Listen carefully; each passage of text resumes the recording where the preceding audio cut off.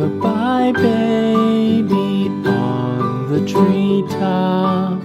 When the wind blows the grain.